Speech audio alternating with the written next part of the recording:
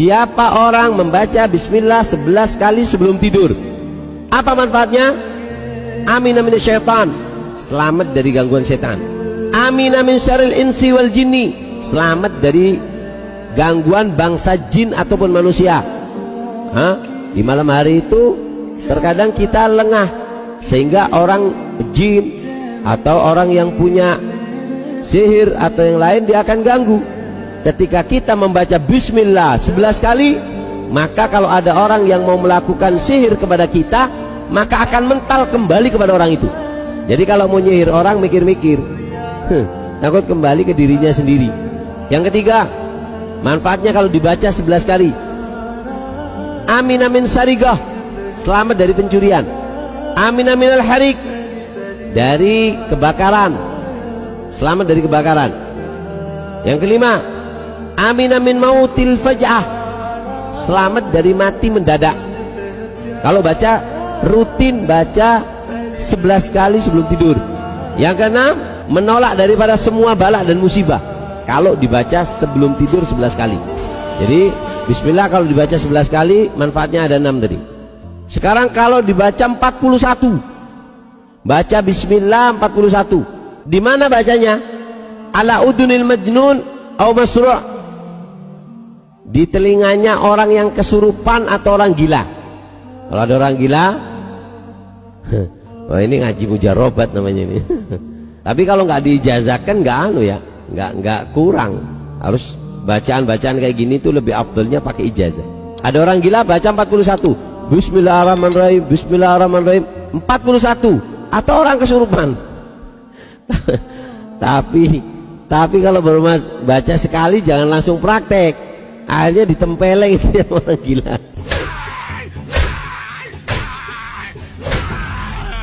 kalau sudah istiqomah baca sudah sebulan dua bulan efeknya nanti baru ada karena zikir itu ngefek sama kita kalau kita punya dua hal Adzikir layan fa illa ma'ad dawam Zikir tidak akan manfaat kepada kita kecuali kalau kita istiqomah.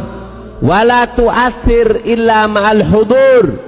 Tidak akan membekas kecuali kalau kita dengan khusyuk bacanya. Ini syaratnya. Jadi 41 kali dibaca. Kalau ada orang gila, ada orang kesurupan. Afaqa min jununi wa. Maka orang gila, orang kesurupan bisa sadar. Kalau pemula jangan akhirnya tambah inti digigit kupingnya sama sama orang gila itu atau orang kesurupan inti baca akhirnya ini gak sembuh yang lain kesurupan yang ketiga Bismillah dibaca berapa? 51 kali.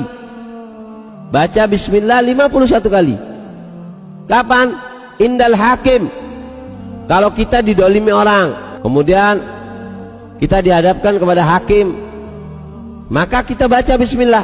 Berapa? 51 51 bismillahirrahmanirrahim. Bismillahirrahmanirrahim. Kapan bacanya? Ketika kita berjalan baca jangan di mukanya hakimnya. Bismillahirrahmanirrahim. Bismillah oh ditapu inti sama hakimnya nanti. Jadi bacanya itu ketika jalan jangan sampai ada yang tahu. Baca udah. Maka apa? Khosya'alahu hakim itu atau orang yang musuh kita kalau ada orang benci sama kita orang itu kasar sama kita baca bismillah. Nunduk. Akan tunduk sama kita. Kalau baca bismillah 51 kali. Kalau dibaca 71 apa gunanya? Yaitu adalah untuk istisqa minta hujan. Kalau kepingin datangkan hujan nggak hujan-hujan baca bismillah. Bismillahirrahmanirrahim. Diniatkan untuk istisqa.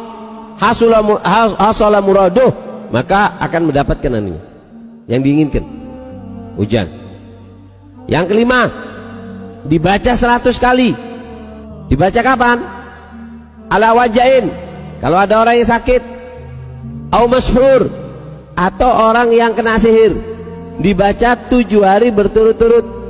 Dibacakan, dipegang dainya, dibaca Bismillahirrahmanirrahim, Bismillahirrahmanirrahim, Bismillahirrahmanirrahim. Maka apa? Azalallahu dalikal wajah. Wasihir. Maka sakitnya dan sihirnya itu Allah akan lepaskan. Dibaca tujuh hari ya. Yang keenam.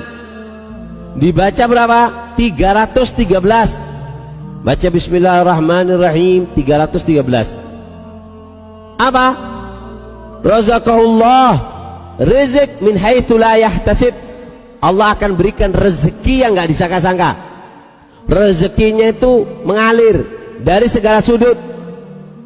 Ada orang nyari rezeki di semua sudut nggak nemu. Ini orang nggak dikejar-kejar rezeki dari segala sudut. Kenapa? Dikir makanya dikir ini sangat istimewa. Ha? ya man tuhallu bidzikrihi uqadun nawaibi wasyada'id ya man tuhallu bidzikri wahai zat wahai Allah tuhallu bidzikri akan terlepas semua mara bahaya musibah. Ya man tuhallu bidzikri uqadun nawaibi wasyada'id masalah musibah yang ada di dunia ini bisa terselesaikan dengan satu. Nyebut nama Allah. Yang ketujuh manfaatnya? Dibaca 2500 apa manfaatnya? Hasolal futuh. Diberikan oleh Allah futuh pemahaman. Ini terutama santri. Al-futuh futuh. Itu adalah nur cahaya di dalam hati. Sehingga mudah memahami apa yang dibaca dan di, dicari. Selama 40 hari. Arba'ina sobahan. Habis subuh atau sebelum subuh? Dibaca 2540 hari. Maka Allah akan berikan uh, futuh. Nah Wah ini bacaan bismillah juga tidak sahatil ijazah. Jika saya ijazah saya daripada guru-guru saya yang pernah mengijazahkan daripada wirid-wirid yang mereka miliki dari Habib Umar dan para masyayikh yang ada di Hadramut ajaznakum. Saya ijazahkan kepada antum semua. Yang dengar yang mengikuti yang atau video ini siaran ulang atau potongan dari video ini saya ijazahkan kepada kalian semua. Masya Allah. Mudah-mudahan barakah insya Allah